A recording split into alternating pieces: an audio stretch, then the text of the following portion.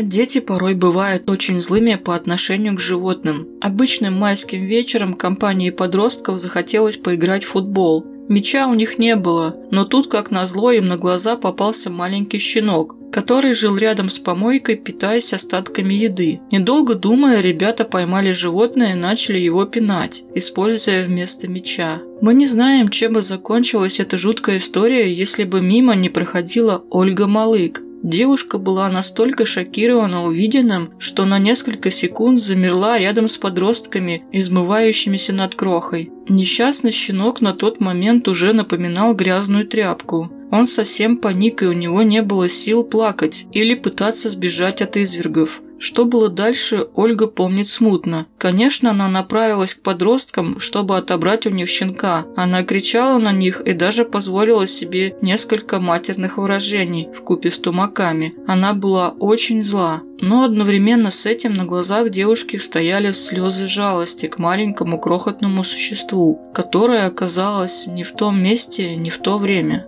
Сердце щенка еле-еле билось. Девушка несла его в ветеринарную клинику, боясь, что не успеет. И вот Кроха оказался в руках у врача. У него были отбиты все внутренние органы, а вдобавок к этому организм оказался ослаблен энтеритом. Несколько раз сердце питомца останавливалось, но каким-то чудом малыш выжил. А ведь врачи даже предлагали усыпить его, мол, так будет лучше. Ольга наотрез отказалась и решила, что будет бороться за жизнь животного. Щенок выжил. Теперь это красивая большая собака, которой недавно исполнилось 6 лет. Она всегда стоит горой за свою хозяйку, и это взаимно. Огромное спасибо Ольге за ее храбрость и неравнодушие. Не подойди она тогда к подросткам, собаки не было бы в живых.